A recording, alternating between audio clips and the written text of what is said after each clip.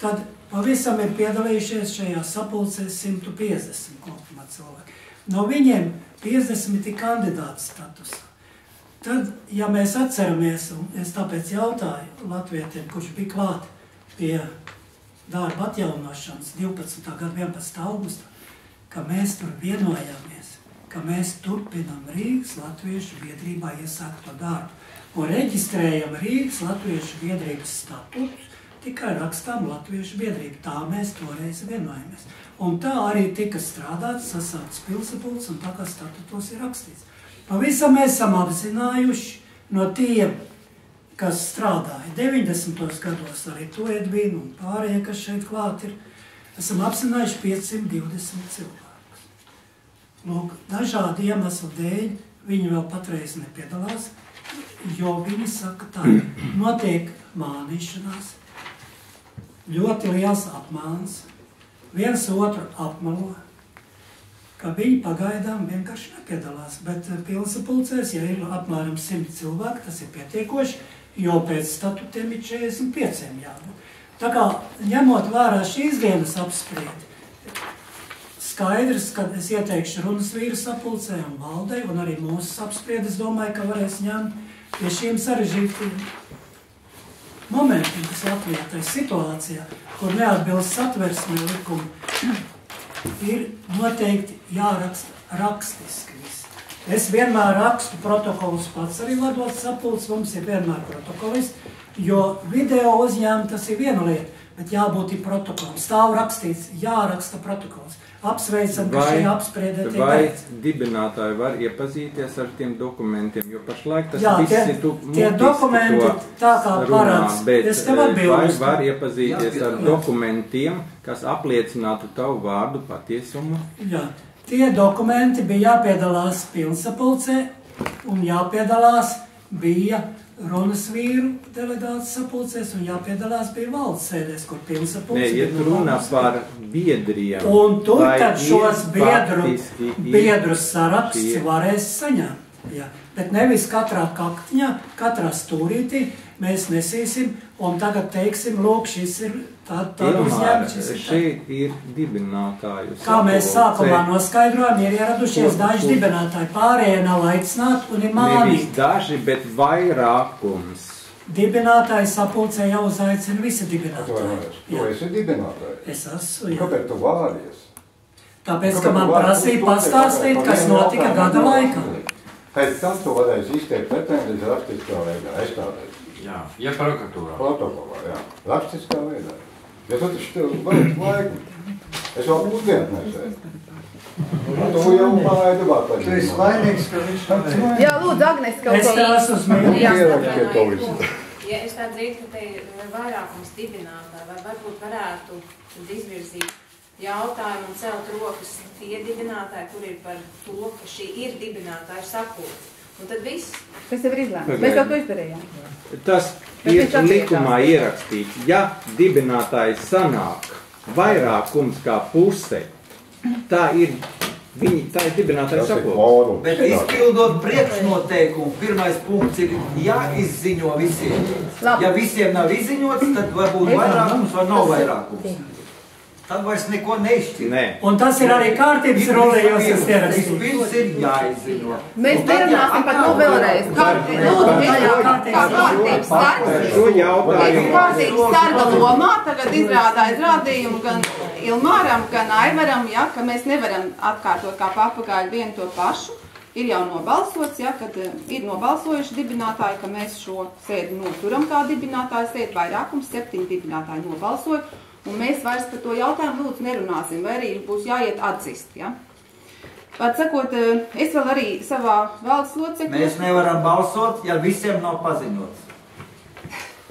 Nu, ja nav- 15. ja reizi nav nevar teikt to pašu. punkts, Un tagad, tagad es vienkārši gribētu arī uzprasīt dažus jautājumus.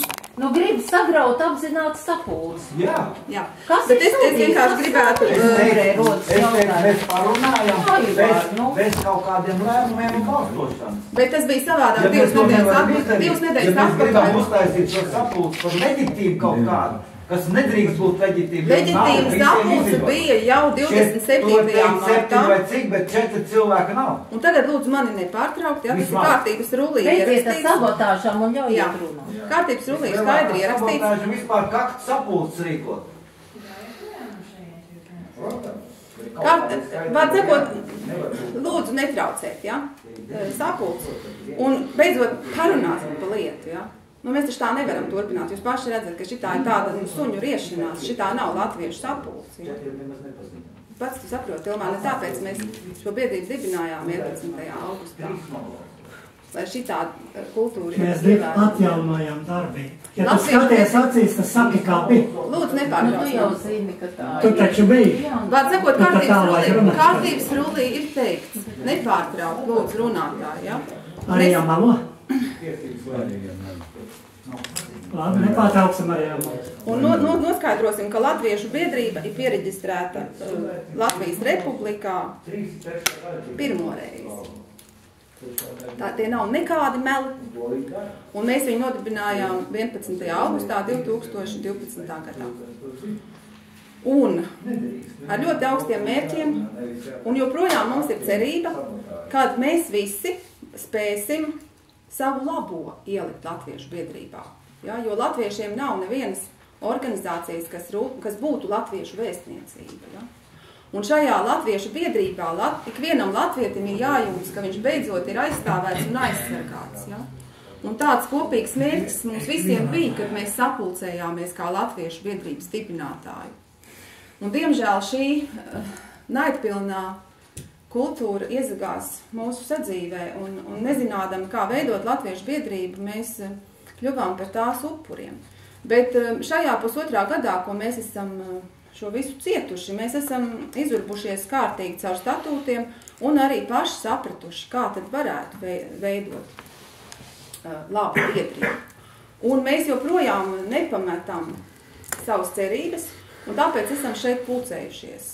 Gan šodien, gan divas nedēļas atpakaļ, kad šeit bija kvorums lemtspējīgai valdei, dibinātāju, un tika pieņemts arī lēmums.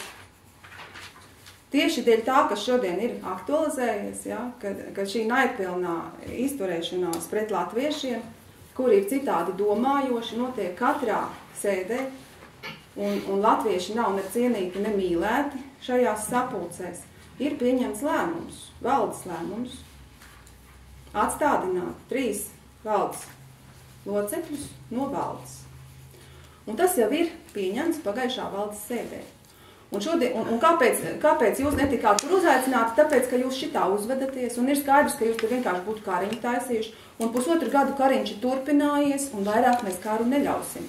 Jo šobrīd ir tā, kad tāpat kā Ukrainu sadalīja, tāpat kā Kosovu sadal, eh, Dienvidslāviju sadalīja ar vienkāršu referendumu, tā tagad arī taisās sadalīt Latviju, krievalodīgo un latviešu runājošo teritorijās.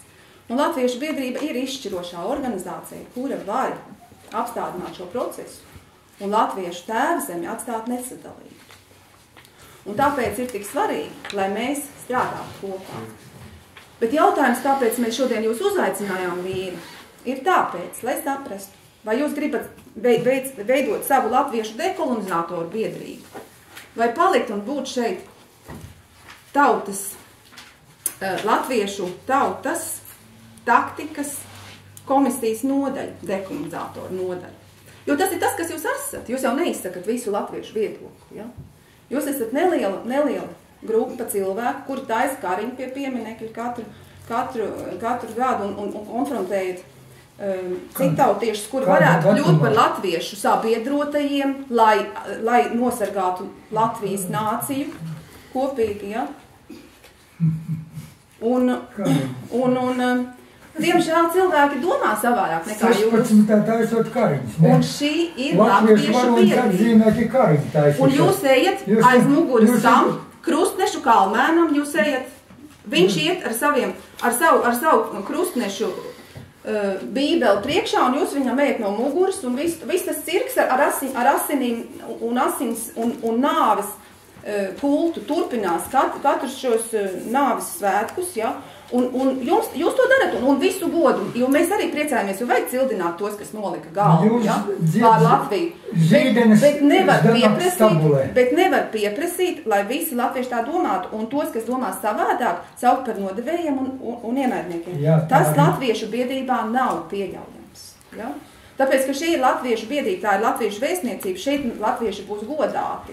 Un mēs kopā atradīsim taktiku, kā atbrīvot mūsu tēvzemi no kolonizatoriem. Un kā šeit latvieši pa, pa saimniekiem būs. Un mūsu, mūsu sanāksmes notiks miera un mīlestības harmonijā. Un tāpēc jūs esat izslēgti jau no valdes.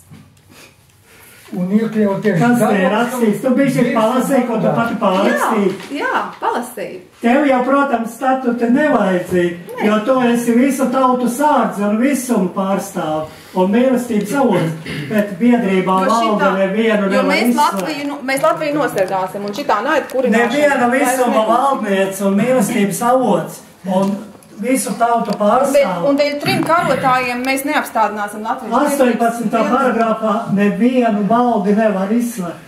Jūs nesmīdināt cilvēkus un Latvijas. Dibinātāji Var apstiprina, ja izslēgt. dibinātāji šodien Valde var izslēgt. Te ir rakstīts, ko. Jūsu klātbūtnē, tad Atkaunaties, ko jūs Nu, runājat. bet kā Ilmār. Harija slēdz ārā? Ilmār, Nekad to mūžam arī Ne par to iet runa. Bet runa ir. Bet, bet jautājums ir sekojošs. Vai jūs vēlaties strādāt šajā latviešu biedrībā, vai jūs taisties dibināt latviešu dekolonizātoru biedrību? Jautājums ir sakojuši, ka tu rupīgi pārkāp Latviešu biedrības statuts. Nē, Tu nevienu statuts. diktiņu izslēgt. Var. Tu vari būt mīlestības avots, visumu sūt un visu tautu sārds tu un Napoleons un dzīvot saņemsi bet tu nevari, rakstiski ar visiem tu nevari nevienu izslēgt. Pēc likumdošanas, un tev vēl piedāvā ne, neslēdz ārā no biedrības, tikai no Tāda valdes. laime, jā. Lai gan tiesības Šeit par to nav rakstīts neviens burtiņš. Ir gan. Kur tad ir? Nolasa lūdzu, jā. Kur valdē tādas tiesības, jā. Jebkurā gadījumā šodien mēs par to ir tā rakstīts, nestrīdēsimies. ak, nestrīdēsimies. Mēs darīsim visu, ko aizmugurīs divi cilvēki, ko Nav divi. pieaicino trešo, ceturto, un Pieci pārējiem sārkaniem šo lēmumu. vaigiem un zibošām Pieci atstiņām. valdes locekļi parakst šo lēmumu. Viss. Pieci viņiem no nav tiesību. Kur ir tiesības? Ārkārtas apstākļos, kur ir tik šausmīgs rezultāts. Tavā virtuvē un šeit šajā mazā telpiņā ir ārkārtas apstākļi. Jā. Ko jūs runājat? Tas Vai ir veselais savu Šitā naida kurināšana. šitas- Ak, tā ir naida kurina. Slēgt ārā cilvēks no biedrības, kam ne mazākās Bet tiesības. ne uz jau to. no biedrības. Pat no valdes, pat no valdes. Šeit No nav biedrības arī mums, un ja jūs šitā turpināsiet uzvesties, tad mēs Tu izslēgsim. maldini cilvēku. Izslēgsim jūs un arī no biedrības. Dievs, ja tu to kaut kur publicēs, visi smiesies. Vispār par to nav Jūs jau rakstījāt, un visi apsmēja, ko jūs rakstījāt Centrālajai vēlēšana komisijai. Nevar taču Ja darīt vēlaties nolasīt, smieklīgas es vēl nolasīju to, to formulējumu, To kas pagājušā valsts formulējumu nelīdz. Formulējums Tu prasīji, tu prasīji. statutos. Tu prasīji kādos, kādos Nē, punktos. man neinteresē, ko tu esi samurgojis. Man interesē, kas rakstīts ir 18. valdes paragrāfā. Kur ir tiesības kādu izslēgt? Parādi, kur ir tas punkts. Var sakot, nolas šito. Nē, nolas statuts, Man draudzīgi. jāiet. Draudzīgu un mīlestību. Draudzīgu un mīlestību nolas 18. valdes izpildu organizācijas pienākums. Tā. Tas, ko tu esi samurgojis, tu vari uz tvaika jau nes dicīt, jo tu esi pasaules sūtnis, pasaules savu aizstāvu un mīlestības avots. Tu pati esi atzinusies. Tas atbilst Napoleona statusam un visam sūtnim, kas staigāja ar koka nūju. Bet šī gadījumā, ja tu runā tā, tad Tā. parādi, kur tas ir rakstīts, ka tev ir tādas tiesības. Ilmār, Man lūdzu, Jā. Edvin. Domāju, man paliek jautri. Es varēju sēdēt mājās un skatīties, kā tu sēdi jau. No Un, sēdes. pra- un sanāk tad, kad ir oficiāli nē, uzaicināts. nu, kāpēc, kāpēc tu nevar izteikties cilvēku? Nu, kāpēc ne? Kāpēc ne? tā, Ilmār, dibinātāji vēlās, mēs varētu noteikt termiņu, līdz kuram Ilmārs Dūlis iesniegs dokumentus, kas apliecina iepriekš teiktā atskaites pamatojumu. Līdz kuram laikam tu vari, kā saka, iesniegt dibinātājiem šo Ļoti vienkārši, Edvīna. Vispirms tie mēs kas grib, lai dibinātāji sanāk kopā, vispirms ir dibinātāji jāuzaicina likumā paredzētā kārtībā. Kā tad jāaizsūta viņiem rakstisks pavēsts. Un tad, kad viņi būs sanākuši, viņi gribēs to dzirdēt un nolikt laiku, tad arī tas notiks. Tātad, lūdzu, sāksim vispirms ar pavēstiem. Vieniem vārdiem sakot, tu nevēlies to Es ļoti darīt. vēlos to darīt. Ja tu gribi, lai es to rakstu, es arī varu rakstīt. Tas ir elements. Jebkurš dibinātājs var pieprasīt no tevis. Atskaitīt par. Latviešu biedrības darbību. Jebkurš dibinātājs. Jā, pilnsapulcē. Nē, Un arī dibinātājs tas sapulcē. nav Tad tu man satiksi, Pilnsapulcē jau mēs- šeit, un tad tu man prasīsi, kā tad tā var būt. Pilnsapulcē tiks lēmts. pilnsapulcē. Pilnsapulcē tiks lēmts par biedrības kurā tu esi pārgājis, un tā ir judaīskā ticība, tu tev neļaus sasniegt. Uh, Ilmā, nemelo, nemelo. Tā ir. Neapmelo, tu mani pašlaik apmelo, un tas ir apvainojums sestdienās man. nepiedalījies sapulcēs. Tas ir apvainojums visai biedrībai. Tu vari apskatīties, kā viņš piedalījās sudrabas sapulcē, to tu televīzijā var apstīties. Jā, Tas ir sestdienā. sudrabas Tā kā šī tāda melošana. Nu, tā jau ir Pietupa. partija, tur. Jā. Jo redzi, lai apprecētos ar žīdieti, jāpāriet Edvīna, viņa ticība. Viņa ir latviete. Nē, Ilmār, Viņa ir nav latvieta, un viņai pasē ir latviete rakstīts. Pasē, jā. Tā kā Es jums lūdzu, gribētu tas jau ir personīgs kā apvainojums. Jā, kā Ilmār. man stāstīja kādreiz viens polis par Labi, tautību. kārtības, es kārtības sargu, sargu Es lomā. Lūkšu, ja tu Nu turpinās jau- man nu jau apvainot, es tev lūkšu jāiet tev atstāt šo telpu. Jā, es kā kārtības sargu lūdzu, tev iziet atzīst. Es kā kādiem saks arī piebiedrojas un pasaka tā, ka viens runā, nedrīkst pārtraukt un nedrīkst visu laiku kaut ko citu. Kā pabeidz palūdz vārdu un tad pasaka savus argumentus. Bet ne šitā te kā druļu kungs visu laiku nepārtraukt un tikai ber virsū. Tā viņam pieredze lielās sap, visās sapulcēs, nu šeit tā nevar. Šeit tomēr ir tiešām, kā viņš pats pateica, šaura telpa un, un, un cilvēku. Un, tā kā lūdzu ievērosim kaut kādu elementāru saskarsmes kultūru, kaut kādu elementārāko. Tā, tālāk, eh, ceturtais punkts. Pilnsapulces sasaukšanas plānošana, Latvijas biedrības priekšsēdētāja un tā vietnieka runas vīra komisiju vadītāja un revīzijas komisijas kandidātu gatavošana. Nu, lieta ir tāda, ka mēs eh, pagājušajā valdes sēdē eh, pieņēmām lēmumu par to, ka līdz ar to, ka mūsu ir tāda ārkārtas situācija un Drūlis un Andersons ir traucējuši va- eh, biedru uzņemšanu un eh, nav rēķinājušies ar valdes eh, locekļiem, kuriem, kur, kur ir rakstīts statūtos, ka valdes locekļu vairākumam ir jāpieņem um, biedri, ja?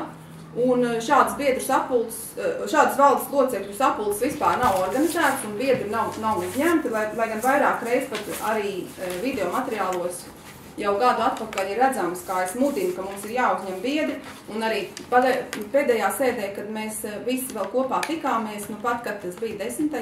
kad tas bija 12. martā, ja, mēs tikāmies, kad es arī piecēlos un teicu mums, visiem jums, es teicu, mīļie, mīļie valdes locekļi, mums ir jāuzņem biedri beidzot. Un kas notika? Jūs visi pārstājāt tikties, jūs, at, jūs sameklējāt kaut kādu pagrīdes vietu, kur tikties, un pateicāt mums, ka, ka nenotiek sapulces. Un tam mums nācās pieņemt šādus lēmumus, jo šitā jau ir vienkārši sabotāža. Ja? Jūs atsakaties uzņemt bie- biedrus, jūs atsakaties veidot kopīgas sapulces, vairākas reizes ir mudināts, lai mēs kopā varētu eh, valde satikties, dibinātāju valdi un risināt šo, šīs domstarpības, kas mums ir taktikas ziņā. Jūs atsakaties un tikai uzspiežat savu taktiku. Un eh, līdz ar to mums nav vairs cita veida.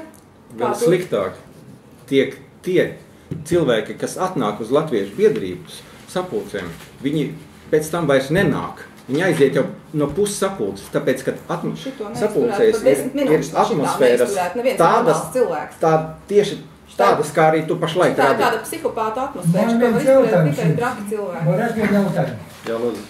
Nē, nevajadzētu. Jūs, jūs, jūs, jā. īsi, īsi un kodolīgi, īsi un kodolīgi. Jā. Jūs, man liekas, atkartījāties tāpēc, nos, ka, kā mēs aizgājām uz, uz gājienu pieci cilvēku, un tāpēc Tā, jūs arī viss. izslēdzāt. Labi. Tāpēc, ka jūs esat masonu, Es jūs sapratu. sionistu aizstāv tikai Jums vairāk ir vajāšanas mānija, man ir psiholoģisks slēdziens. Jums, jums ir ir- mānija. Tā, lūdzu, pārtraukt diskusijas. okupācijā esam. Eh, Es uzklausīju, tie bija apvainojumi, un tāpēc Tie es jums vairāk vārdu Jūs, nedodu. jūs e, cēlāt roku, ka jūs nāksiet, bet jūs. Atrāvaties Atļaujiet. un, un te ielīdāt šī te. Eh, Vai nu ejiet pie psihiatra, eh, vai netraucējiet? Ejiet jūs pie psihiatra, jums vajag. jūs Es lūdzu, es traucējat. lūdzu kā kārtības sargs, lūdzu, nepārstīsim nevienam apvainojumus, ja? Un uzvedīsimies A, kāpēc man internetā? A, kāpēc tam man jāiet uz psihiatru? Internetā var Jā. rast visu Jā. mas, masiņas. Internets ir plašs saziņas līdzeklis, un tu tajās ielīdes Tev neviens Tādas vārdu nav devis, ja? Ap tā vārdu vēl jā. Jā, tu vari palūgt vārdu, pacelt roku. Es neuzskatu šo sapulci par oficiālu. Un es, kā kārtības sargs lūdzu ievērot, ka vairāk Tā, pašlaik runā- Edmundam, ka šeit ir tikai uzaicināts, vispār nav uzaicināts un nav? Tā, lūdzu, Es vēl neesmu pabeigusi savu sakāmu. Un sakāmais, sakāmais ir taisni par. Pilnsapulces sa- sasaukšanas plānošanu, ja? Un, un, un varbūt tās mēs varētu palūgt, lai Edgars, kas visu laiku apmaino mūs, iziet, aiziet projām, viņš nav dibinātājs. Viņš tikko nosauca mūs par cionistiem. Nu, pareizi nosauc. Tā ir vajāšanas mānija. Tā ir, tas viss ir kā kārtības sargs, lūdzu, jūs iziet ārā. Mēs savus vārdus vārdus nemaz neņem atpakaļ. Latvieši šeit neviens neapsaukās. Kāds latvieši? Tas nav svarīgi, kā tautība, kas ir pārstāv ciemistu bandi pie tā. Uh, Lūdzu, klusēt šeit runāt tad, kad Tā, atļauj. tagad ir jautājums, ka kārtības sargs pasaka, kad kāds cilvēks, ka viņam ir jāaiziet no telpas. Kādu? saka, otrs kārtības sargs. Arī. Kā, kā Labi. mēs, kā, mēs, tagad kā, kārtīgi tā, ka Turpiniet. Edgaram jāaiziet Lūdzu, ārā. lūdzu turpini. Nē, es, es nevaru turpināt, kamēr viņš ka nav Nevajag aizgājis. pārtraukt, ka cilvēks runā, lai runā. Un ja kaut kāds domas ir, kaut kāds domas šī gada Edgaram, kaut kas Nē, tas, ir ir vie- viedoklis personīgais.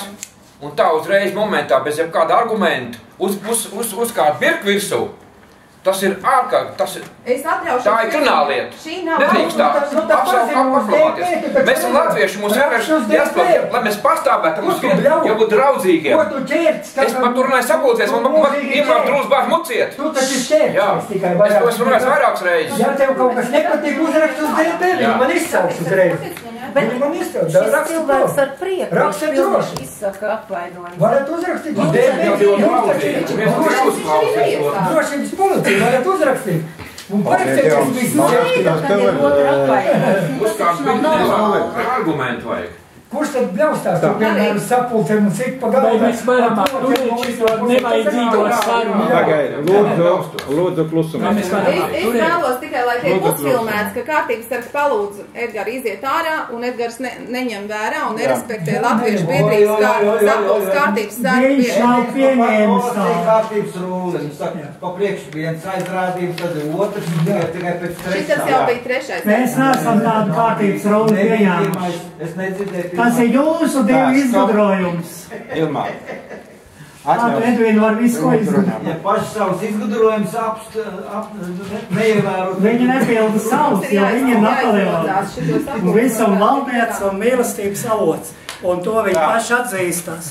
Reku ir skaisti es tev uzrakstīt. aizrādu otro reizi jau. Nē, šitas tev ir ceturto reizi. Es tev aizrādu otro reizi. Es viņam divreiz Lasīju aizrādīju. Es tagad nelasīšu. Pēc tam, pēc tam. Pēc tam. Rakstiski lūdzu. Šedēvis. Lūdzu, pēc tam.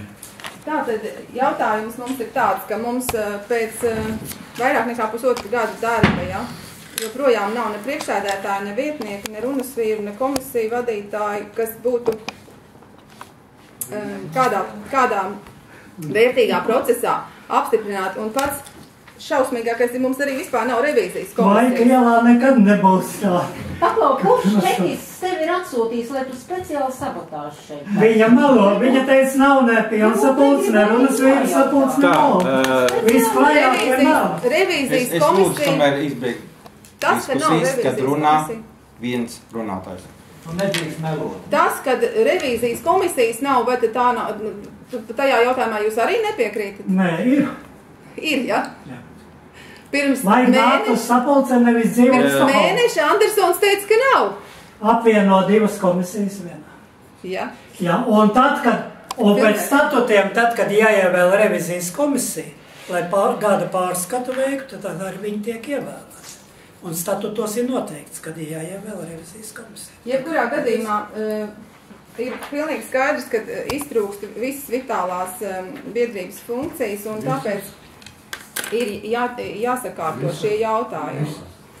Un, lai, lai plānotu vērtīgu, beidzot, un kvalitatīvu pilsapulci, ir nepieciešams process, kurā uh, nākamie latviešu biedrības vadītāji būtu kompetenti.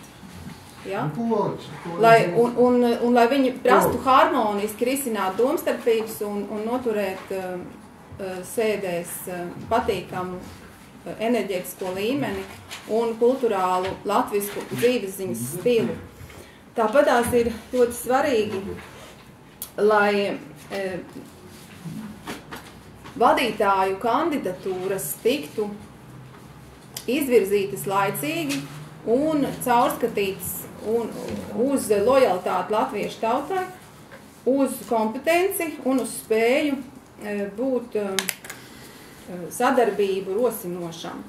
Gan e, latviešu starpā, gan arī ar citādi runājošiem un citām tautībām, kuras Latvijā dzīvo, ar kurām ir jāmāk sazināties, meklējot sabiedrotie. Ja? Latviešu tautai, lai latviešu tauta varētu par saimniekiem te būt. Un šī, šīs visas kompetences ir vadītājiem, ja ne jau jābūt, tad jābūt vēlmei viņas sevī attīstīt. Ja? Un tam mums ir vajadzīgs, protams, vesela komisija, lai mēs, jo vadības jautājums ir ļoti būtisks. Vadi, Latviešu biedrības vadītāji veidos Latviešu biedrību un uh, Latviešu biedrības tēlu.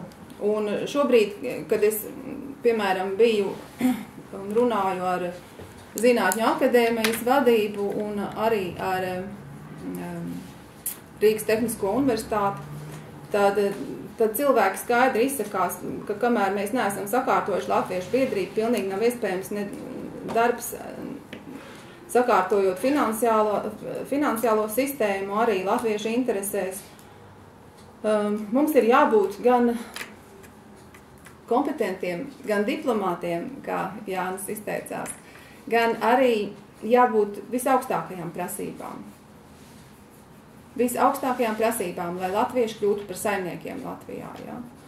Un uz to mums ir tiesības, bet priekš tā mums ir vajadzīgi ļoti kompetenti vadītāji. Un tāpēc mums ir arī vajadzīga komisija, kas strādā ar vadības atlases mehānismu.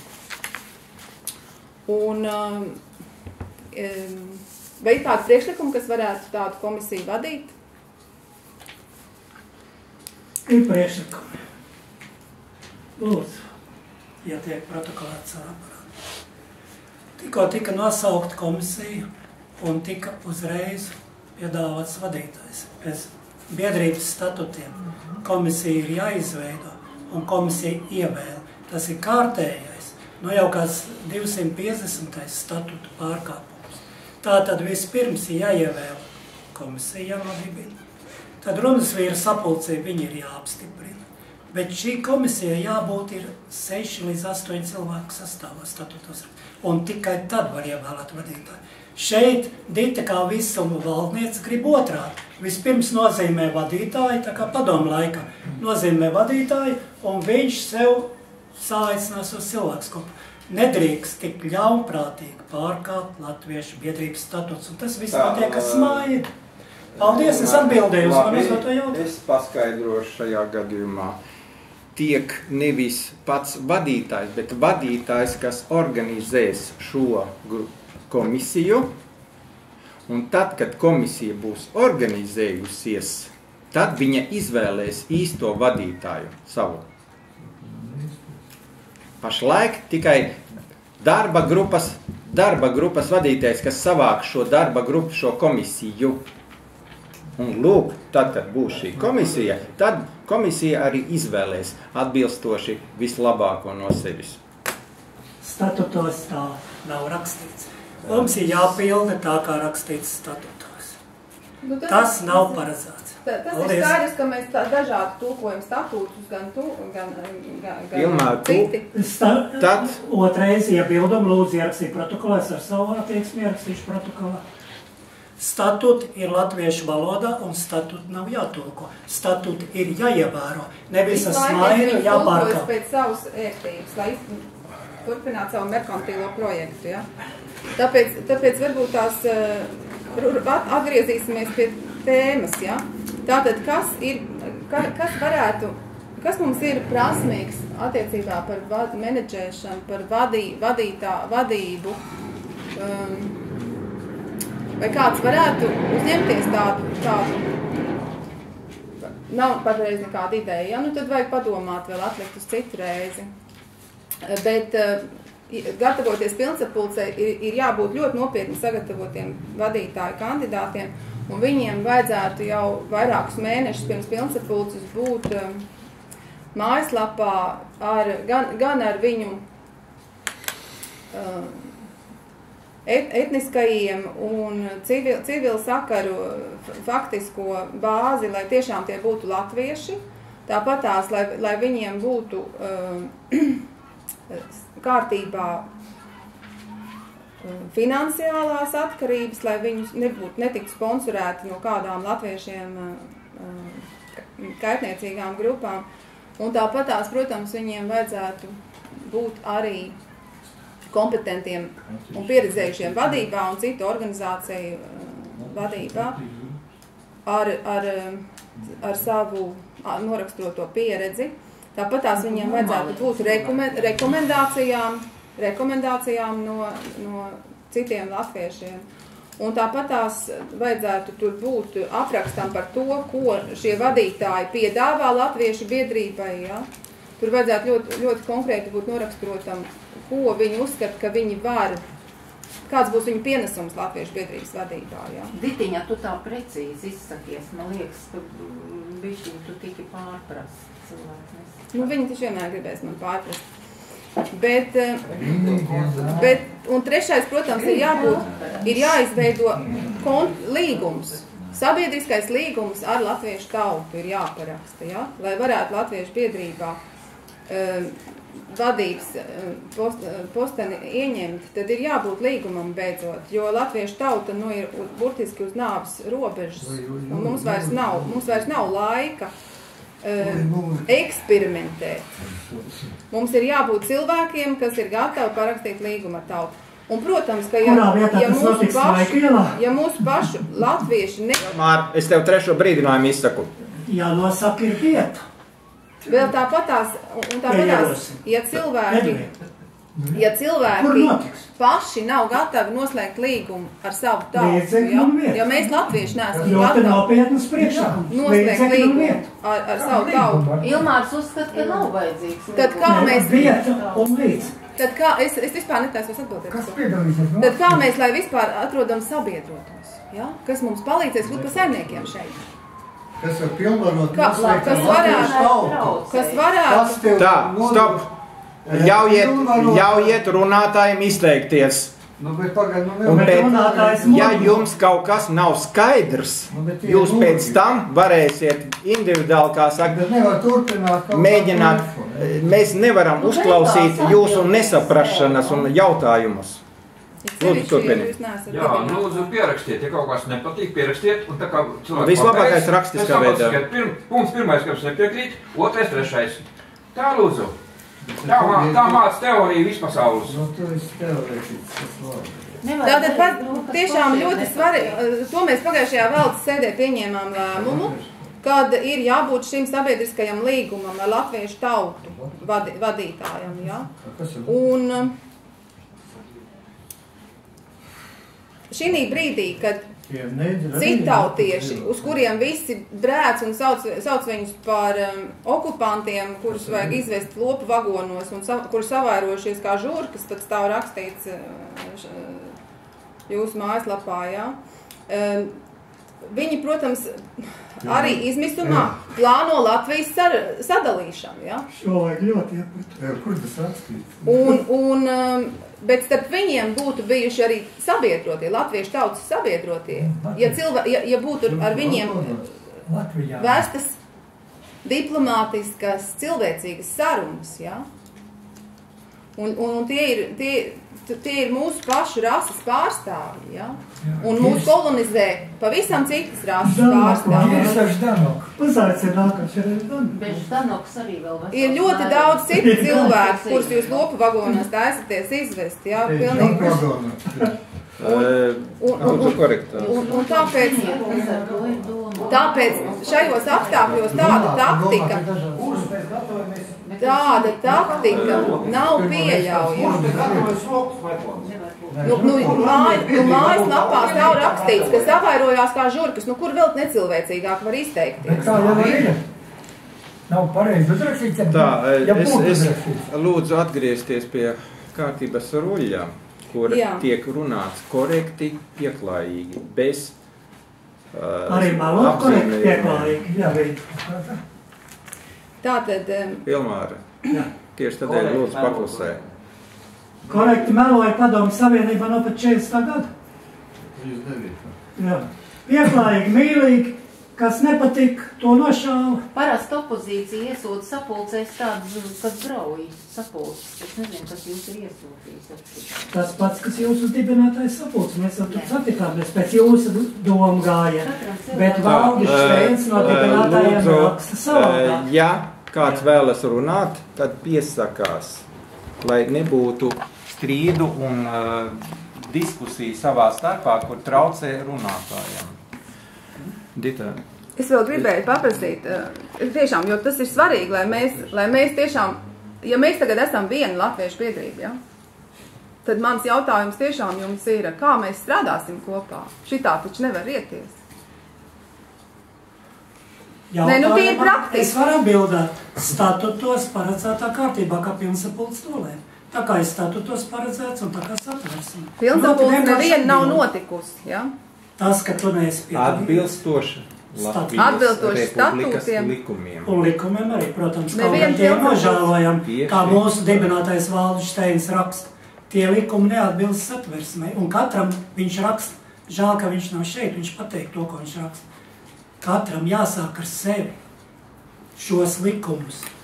Paskatīties, kādi viņi ir. Nē, nu, Viņi neatbilst Latvijas Republikas satversmei. Un jūs šādus likumus daudz, kas neatbilst. Jā, bet mums baldas raksta, mums jāsāk ar sevi. Cienāsies ar vienogām, kuras atnes ēdatīvas arī. Bet eh, tas nav galvenais. Jā, paldies. Bet tiešām ir jāievēro situācija, kā, jo tikko tu jautāji, kā tad ir. Un Es tev atbildēju, reālā jā. Nē, nu reālā situācija ir tāda, ka ja mēs tomēr paliekam visi latviešu biedrībā, kas, protams, būtu ļoti jauki, ja? būtu ļoti jauki. Mums tomēr ir jāmāk ar cieņu vienam pret otru attiekties. Mēs nevaram sākt viens otru, kā te notiek par cionistiem un ienaidniekiem un ždanoku pielūdzējiem. Tas taču ir vienkārši nu, šausmīga apmelošana. Ja? Labi, man viens jautājums. Pieklājīgs. Nē, tev, tev jau vairs pateikt. Tev pēc ruļļa nē, tika pateikts, ka tu vairs šī esmu neļauj. Tu nākamreiz, nākamreiz tev būs atkal limits, bet šoreiz tev viss es- cauri, nekādu jautājumu. jautājumu. Es jums- Nekādu jautājumu. Es jums iesaku uzrakstīt par mani uz. DP, ja es jūs ir apvainojis. Jūs teicat, ka es jūs ir apvainojis. Uzrakstiet uz DP par mani ziņojumu ar visu to, ar visu to ierakstu klāt. Viņš tā kā bērns rotaļājās. Nu, Es gribu, lai viņi paziņo, ka es viņus ir apvainojis, lai viņi paziņo, re, kur re- redzams, ko es saku. Iesūta savu video. jā, video iesūt, jāsaka. iesūt visu video DP. Jums ļoti patīk nevajadzīgas jēskas. Tikko tika uzdots jautājums, kā tā Latvijā ir. Ja es ir apvainojis kādu, Nu, vārds sakot, varbūt tās tomēr respektēsim to, ja? Kad, kad, Tā kā jūs noteikti iesniegt par mani DP, kā es jūs ir apvainojis. 250 reizes statuts pārāk. Atteicies, nevar. Vārds sakot, ir, ir tomēr Es ļoti skaidri. Ir ļoti skaidri jāsaprot, ka šitā mēs nevaram turpināt. Šitas ir pilnīgi neiespējami. Darba vide.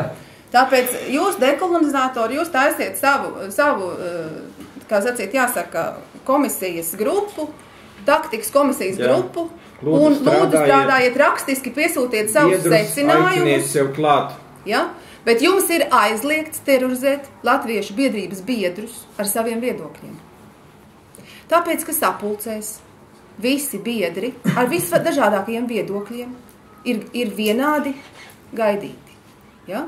Tāpēc, ka šī ir latviešu biedrība. Tā ir latviešu šeit kurā visi latvieši ar jebkuriem viedokļiem tiek godāti un cienīti. Un kāriņu mēs te nespēlēsim. Jūs mūs noterorizējāt 16. un neatnācāt, tātad jūs ir pret. pret- 16. pret martā Jā. pie pieminekļa nepiedalījās apmēram 99% latviešu. Nē, bet mēs bijām sarunājuši, jūs paši cēlāt roku, ka mēs visi ejam. Mēs jau Nu, Latvijas bet es nebiju, bet tāpēc, ka es biju listenē. Ko jūs gribējāt? Ar jums neviens nesaka. Nu, Tu jau necēli. Un es atļaušu, es atļaušos jums pastā, pastāstīt. Ja jūs paskatīsieties iepriekšējā gada manus video materiālus, jūs ieraudzīsiet, ka 16. martā es biju vienīgais cilvēks, kurš izslēdz žīdu ruporus un vēl uzfilmēja to, kā es to izdarīju. Ja? Jūs to varat manos video materiālus, jā, izrāvuši tekerus. Un es to izdarīju vienīgais cilvēks, kuram izdevās. Jā. gāja žīniem bučoties. Jā. Un ka jūs tik necienīgi izturaties pret cilvēkiem. Un šito tu pateici. Un šito tu pateici atkal.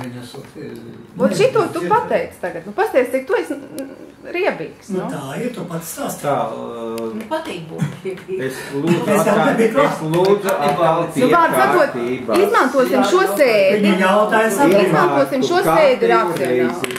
provocē, kārtējo reizi apvaino.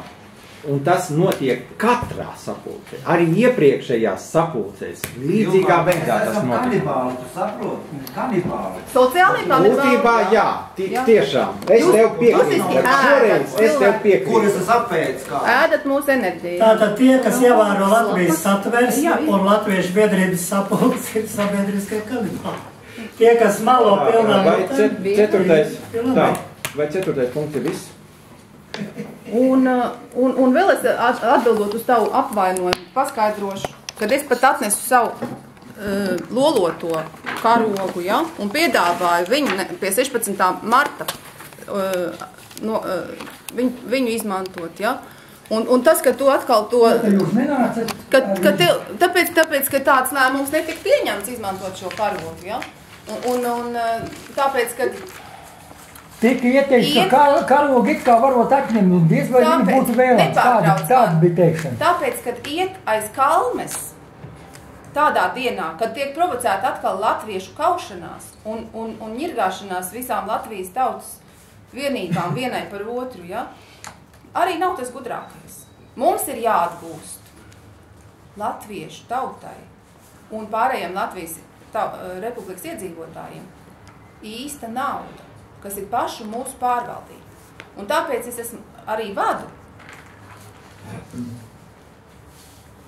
ekonomiskās sistēmas komisija Latvijas biedrībā un piedalījos brīvē, Tas, ka pie tā žīra, ka jūs tur piedalāties pie tā brīža, Nepārtraukt mani. Nepārtraukt, Melot nedrīkst. nepārtraukt. Melot nedrīkst. Piedalījos brīvē melo. Lūdzu, seminārā.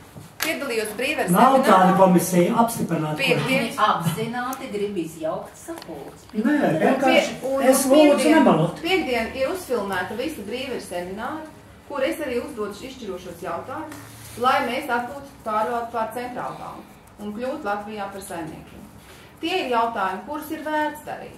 Un tur es strādāju visaugstākajā līmenī, vedu sa- sarunas arī Zinātņu akadēmijas Ojās pārī, un, un tāpat tās ar ārzemju latviešiem.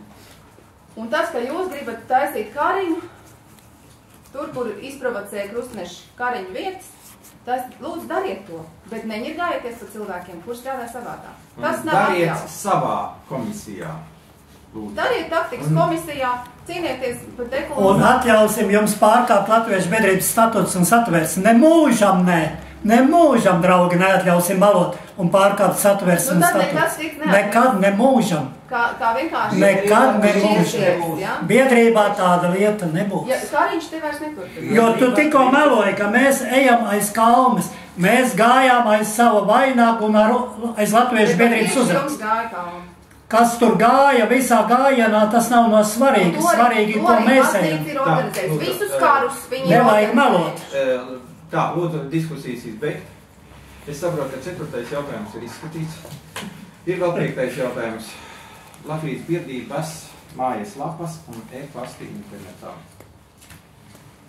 Pašlaik ir divas mājas lapas Latvijas biedrībai. Un tomēr vajadzētu pie kaut kāda kopsaucēja nonākt šajā jautājumā. Tā kā vienu mājaslapu uztur Dita, lūdzu. Jā, jautājumu. mājaslapā tagad ir lejuplādējama arī Latviešu biedrības kartiņa, kur var pieteikties arī pa internetu. Tur atrodas arī statūti, gan mūsu statūti patreizējie, arī uzlaboti sakarā ar divas nedēļas atpakaļ valdes sēdē pieņemto lēmumu. Fantastika! Tur ķeries klāt statutiem, tik nenormāli palikusi. Cik nenormāli palikusi valde. Vai tiešām jums nav mazākais saprāts? Valde nevar nodarboties ar statutu Uzņēmuma labošanu. Kaut kas Piemēram, fantastisks. statūts Latvijas likumdošanā. Tikai to nevar darīt valde. Tas ir viņa raksta uzņēmuma reģistrs, kas jādara attiecīgām institūcijām. Lika mums Dziļi maldi. To var darīt dibinātāji. Dziļi maldi. Līdz iesniegšanai uzņēmuma nepārņēma, Var sakot, tur ir, tur ir gan mūsu patreizējie statusi. Valde ir izpildu institūcija. Tu kārtējo reizi gribi, lai mēs pieļaujam tev Tu savu. nedzirdēji, ko viņa nu pats Bet viņa melo. Viņa pārkāp statutus. Kur ir rakstīts Viņai statutos? to lika darīt, to tu nedzirdēji. Viņa melo. Kur ir tas likums, kas likts? Kur ir tas raksts? Kas var likt? Jā. Uzņēmuma reģistrs nepiedalās biedrības valdē. Bet kā visu sapulci malos, un pēc tam mēs runāsim, ka viņi teiks sapulci slēdzam. Kā tad tu iedomājies, draugs? Var Kad mājas- beigas? Mājaslapā atrodas arī 23. gada statūti, ar kuriem ļoti mudinu arī jūs iepazīties, jo, ja jūs gribat taisīt Latviešu dekolonizatoru biedrību, jums var noderēt tie statūti, iespējams, 23. gada statūti, kurā uh, ir mazāks biedru skaits vajadzīgs, lai nodibinātu pilnsapulces. Un ar to tev būtu izgājis cauri tas Pilsapulcs nenodibina, pilsapulcs sasauc. Ja tu te kaut ko gribi runāt, tad vismaz elementāri statuts iemācies. Ja tu man, ja tu man nebūtu terorizējis Bet šo sapulci visu Tu laiku, tad es varētu labāk izteikties. Ļauj viņai malot, jā. Bet tādā stresa stāvoklī cilvēki visi Mēs esam sapulcējušies, lai malotu. Pagaidi. Ilmār, pārtrauc. Pagaidi. Ļauj malot, jā. Pārtrauc. Dita runā Vārds sakot, es jums silti Ja tev ir kaut kas iepazīties sakāms, lūdzu, ar rakstiskā 23. veidā. gada statūtu statūtiem. Jums nebūtu vajadzīgi tik daudz biedri, lai, lai sasaukt pilnsapulci, kā pareizi man Ilmārs uh, pateica.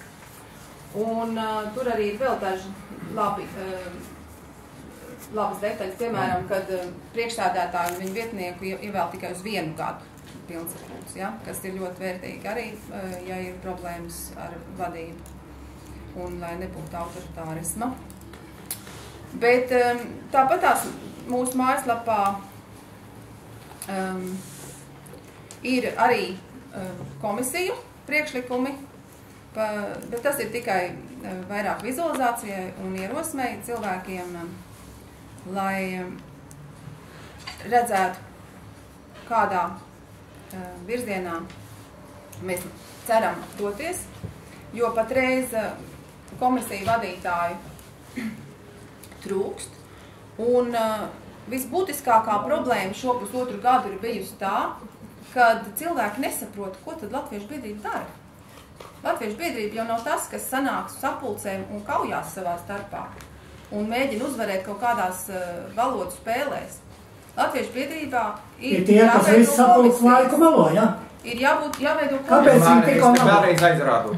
Jau ceturto reizi. Mēlus nedrīkst. Uzraksti rakstīs konkrēti, kur mēs. Visu laiku. Var Tu neredzi, ka svarīgākais cilvēks? ir veidot komisijas. Ja? Tas ir pats svarīgākais. Un tāpēc, lūdzu, mīļie, jūs domājat, kuras Man ir komisijas jūs veidojat? Kādas komisijas jūs, jūs taisat? Ja? Jo šitā pulcēties un kauties, šitā ir pēdējā reize. Šitā vairs nevar. Ja? Mums, mums ir jās, jā, jāstrādā komisijās, lūdzu, strādājiet taktikas komisijā, veidojiet savu dekolonizācijas plānu, iesniedziet viņu, eh, publicēsim mājaslapā, jā. Lieliski! Tas būs jūsu komisijas eh, darba grupas eh, plāns. Bet rēķinieties ar to, ka būs arī citas darba grupas, kuriem būs citi taktiski priekšlikumi, kā sakārtot šo jautājumu. Un jūs nedrīkstēsiet viņus saukt par ienaidniekiem, un jūs nedrīkstēsiet viņus saukt par nodevējiem. Nedrīkstēsim saukt arī par sauloriem, kas nav statutos minēts. Saules pilsēta, Saulora, tas ir Latviešu biedrības statutos. Tu labāk nodibini vienu savu organizāciju, nevis to, ko es tev maldīgi piekrītu ar tevim kopā kaut ko darīt, kur tu tikai tagad atzinies, kas tu esi īstenībā. Tikai pirms dažām dienām. Šādi apvainojumi absolūti pilnīgi nevienam nav pieņemami. Nemaz nerunājot par tiem solījumiem, ko tu teici, nemaz nerunājot to, ko tajā sapulcē mēs runājam. Viss tiek viens malu. Man ir priekšlikums, ka cilvēkiem, kur tik regulāri ap- apvaino sapulču dalībniekus, ir jābūt kaut kādām stingrākām kārtības rullīm. Nu, nē, apvainot, tad rakstiet uz Jo, DP. jo šitās ir jau tiešām sociālais kanibālisms, ko, ko šie dekolonizatori veids. Un, godīgi sakot, ar, šiem, ar šo saujiņu dekolonizatori ir pilnīgi pie- pieticis, lai visi latvieši izskriet ārā no Latvijas. Jo viņi, kad, viņiem gribas aizstāvēt savu zemi, viņi paskatās un tur stāv šie cilvēki, kurus, kur ir tik nikni un, un naidpilni, tad nav ar ko aizstāvēt to zemi. Un tā tas nedrīkst turpināties. Kā tad neskries ārā, kad eh, Latvijas priekšgalā es neatļauju tev runāt, es neatļauju tev runāt. Māsa var teikt Tāpēc- sevi. Nu jā, un tāpēc, un tāpēc jautājumā par mājaslapu vēl ir mums. Uh, īstenībā tā otrā mājaslapa, viņā ir ļoti daudz labi materiāli, ja? Un Latvi, Latviešu biedrība.lv viņā tiešām ir daudz ļoti labu materiālu, un, un, un, un, uh, bet būtu lūgums tiešām pirmām kārtām izņemt šo formulējumu, ka cilvēki savairojās kā žurkas, jā, tas ir vienkārši necilvēcisks formulējums, un, un, un uh, tas nav pieļaujams. Un viss vis šā, vi, viņi, šādi formulējumi ir kontraproduktīvi, un viņi, viņi vienkārši tā pārējie cilvēku grupēm tā pret mums arī izturēsies. Pret latviešiem, ja mēs tā runājam par citiem cilvēkiem. Kādiem citiem tie ir okupanti. Un, uh, bet, bet, protams, tad, ka, kā mēs redzam, mums neizdodas atrast kopīgu valodu, bet uh, um?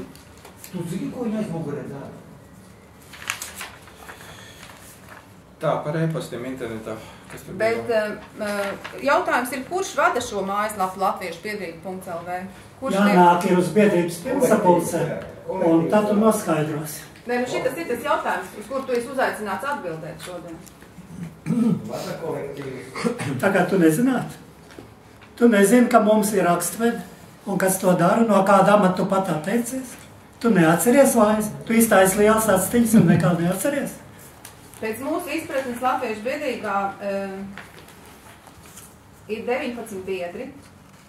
Neviens cits nav uzņemts pēc statūtu paredzētās kārtības. Un līdz ar to mēs aicinām jūs šodien, šo, šajā dibinātāja sēdē, atgriezt visu kontroli pār mājaslapu un pār internetu. No kuras tu atteicies? Uz, uz To tikai dibinātāju. var pilnsapulce izdarīt, jo tu pilnsapulce atteicies. Pilnsapulce pieņēma Un, lēmumu. Un, uh, Un nevis kādā kaktu sapulcītē ditiņ, bet pilnsapulcē, tā kā tas bija 16. februārī, un nemāna atkal klātesošos cilvēkus. Tādas ilūzijas. Pilnsapulcē pat atteicies, pilnsapulcē Tiešām vēl daudz cilvēku domā, ka tu tādu pilnsapulces vadīsi. Jā, redz, Bet, tas tā ir. sapulci neviens. Tas, ka tev nepatika rezultāts. Vairākums nebija sa... Tas, ka tev nepatika rezultāts, un tas ir cits jautājums. ja? Tu pati piedalījies. Tā ir tā, ir tava, 16. tā, tā būtu pielūdzēju sapulce, bet tas nenozīmē, ka tā ir Latvijas biedrības sapulce, ko tu tur norganizē. Nu, cik tevi pielūdzēja? Un, uh, Viens vai divi? Jo pēc statūtiem pilnsapulces sasauc, zini tas? Kā Vald, valdes vairākums. Kā uzmanīt? Valdes, Latvijas biedrības valdes vairākumam bija Palas jāsauc. vēl bišķi ditiņu statuts. Palas vēl. Un uh, Pamācies, ja tu divu gados nes iemācīsies. tālāk ir jautājums par to, eh, kas vada e-pastu. Es tev jau otrais Latviju biedrība. Es jau tev vēl vienreiz atbildu, atbildu otrais, ja tu man jautā. Tā kā tu dibinātāju sapulcē bija ievēlēta par rakstvedi, un tu apņēmies to darīt un veidot mājaslapu. Bet pirmajā pilnsapulcē 2013. gada 16. martā tu atteicies no saviem pienākumiem, ievēlēji citu rakstvedi.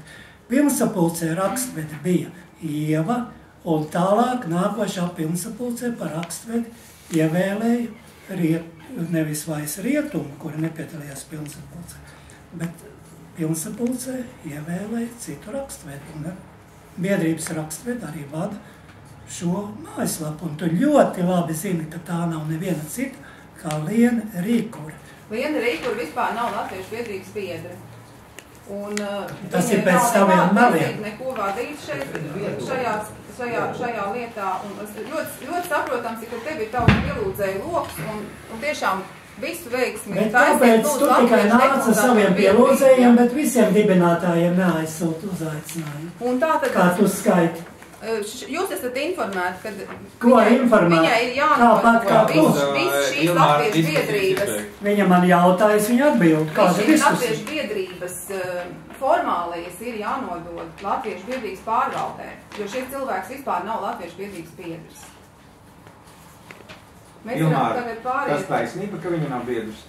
Nu, absolūtākie mali, tāpat kā viss tas, ko Diti šeit Ilmārs, runājis. tāpēc mēs lūdzām tev sarakstu, biedru sarakstu, dokumentus, kas apliecina, cik ir biedri, kas ir biedri. Jūs tie kas ir divi, kas uzņēmušies šo lietu, kas nav vēlēti ne pa kādiem vadītājiem. bet Tā kā tu sasauksi visus dibinātājus normālā zāle, Ar tad arī skatīsimies. Šeit nekas nav balsu vairākumu, tavā ķēķī neko nenozīmē. vairākums piedalījās 27. marta sēdē un Un pieņēma. pārējie nebija uzaicināti. Protams, paties, kā tu uzvedies. Kur tev var uzaicināt? Nu, redz. Un pārējos dibinātājs pēc tavas izpratnes. ko- līmenī. Ja Kur tad ir pārējie? Kur ir rakstīts uzaicinājumi? Jūs, Redz, nav. trīs neviens Tā tad jūs esat paši iecēlušies. kā. Jūs abi divi gribat maldināt pārējos dibinātājus. Es saprotu, kāpēc tu piekrīti Ditai, bet tev ir jāapzinās, Es izsaku piezīmi, kā kārtības sargs. Aka tas pats sākās, tas ir pieņēmums. Uz pieņēmumu pamatā Kāri, tas Kāri, ir viena apgalvojuma. Kāri, Lūdzu, nepārtāk man Ne, lūdzu. bet neklīdz. Uz pieņēmumu, lai dzirdētu visu, uz pieņēmumu pamata. Lūdzu, Bet cik es varu teikt, ka Bet cilvēku. Es tā klusu nedzirdu. Uz pieņēmumu pamata nedrīkst dibināt vienu apgalvojumu. Tas ir jānopamato, jāpierāda, argumentēt un... cienījamais kārtības. Man tev jautājums. Tā, Pierādījums ir tāds, ka man kā dibinātājiem nav pavēsts šeit ierasties. Tāpēc es Ilmāram teicu, lai uzraksta rakstu. Tu esi jums. Dažādi var aicināt. Dažādi. Ar zīmīti, ar, ar e-pastu, ar šito te ar, ar, ar, Pasta ar valoda. mobilo, ar, ar, ar, ar, ar izziņu, visādi var Nedara aicināt. to jau. Tur jau tā lieta, ka nedara. Kad, tad, kad mainījās, mainījās viss kārtība, mainījās telpas, viss mainījās, viss, vai cilvēkiem bija pateikts? Tās vairs nebija Bija pateikts sapulces. tikai tā, pazvaniet visiem apzvaniet. Tās ir personīgas ir- sanāksmes tāpat kā šeit. Nē, nē, nu, tagad, tagad tur telpas tajā Latvijas ielā. Nē, nē. Vai, vai bija, bija, par to arī bija pateikts? Nebija pateikts. Nē, tikai, nav vairs tikai bija sapulces. paziņots, Ir. pazvaniet visiem apzvaniet. Ir pavasara Jā. pārtraukums. Mēs privāti sanākam, tāpat kā šeit. Mēs esam privāti sanākam. Ja mēs Tu gribi atnākt Druļkungs, ja mēs kārtīgi strādājam, tad pirmām kārtām statūtos jāievēro statūti. Statūtis visu laiku gadu laikā, kad es nāku, 99% netiek ievērot statūti. Netiek ievērot vispār. Bet, kā arī tu, Netiek kā jurists zina, ka statūts var mainīt tikai pilsētā. Es runāju par tiem statūtiem, kas ir. Ilmār, tu neesi ievērojis statūtus. Tu Un absolūti neesi ievērojis Nemaz netiek ievēroti. statūtus. Es pasaku, ka tu, vat kā dibinātājs pasaku, tev, kurš līdz šim bija it kā uzkundzējies pa vadību, Kur neesi ievērojis šos Man statūtus. ievēlēja Tev pilsētā. uzkundze, viņš ir ievēlēts. Un tāpēc es Pretēji tev lūdzu, man ievēlēja, Jā. ko es varu darīt. Es, es to varu teikt. Tad pasaka, tu pēc neesi statūtiem, to kuru pierādījis. pāntu es neesmu Dokumentāri to neesi pierādījis, ka tu esi ievērojis. Kur ir biedri? Kur ir biedri? Kur ir visi dokumenti 50 par šīm likumīgajām sapulcēm? Tika tas darīts. Un uzņēmums, kurā ne tu nebija, te nepiedalījies. Paši vainīgi, ka nepiedalījies. Tajā, tajās sapulcēs piedalījās biedru kandidāti, kuri nebija valdes apstiprināti par biedriem. Tas ir process, kurš tika izslēgts. Tāpēc, ka tu biji pieredzējis taisīt partijas, un tajās var šitā šiverēties, bet Latviešu biedrībā tā nevar šiverēties. Ir jāseko statūtiem. Bija valdes sēde, un valdes Nebija sēde, apstiprināt ir pilns valdes sapulce Valdes laikus, kuru tu pati nav piedalījies, jo tu esi Tur ir bijis. statutos arī citas lietiņas, kuras jūs, protams, ar Edvīnu vēl neesat izpētījuši tādā ziņā. Protams, tev ir citas Jā. lietiņas. Tā mēs par to arī iet runa, ka tev vienmēr ir citas Redzi, lietas. daži citi paragrāfiņi, ko tu pati rakstīji, bet tu neskaties tos paragrāfus. Kā pa brīnumu. Tu tik pagaidām neesi par pavaldes pienākumiem paskatīsies. Tu neesi paskatīsies 18. paragrāfu. Bet pilnsapulces tiesības tu apšaubi. Un pilnsapulcei tiesības darīt jebko. Ko pilnsapulce vēlās. Tad, ja tu nepiedalies, tad nav leģitīma. Tā, tad, ja latviešu biedrības biedri nav čet- 45, tad nevar sasaukt pēc statūtiem sapulces. Tajā pilnsapulcē, Ir ko tu un es paši organizējām, bija Un 57. par tāpēc es arī iesaku izmantot 23. gada statūtus. Bet mēs bijām izmantojuši 38. un tur ir prasīts par 45 biedriem. Valdes vairākuma apstiprināšana. Protams, tu kā visuma pavēlniec var visu ko ieteikt, bet tev vajadzētu ieteikt tā kā statutos rakstīts darīt, kur ir mūsu statuti. Un tagad jautājums vēl ir tagad par, par, eh, par kvītīm, jo eh, šim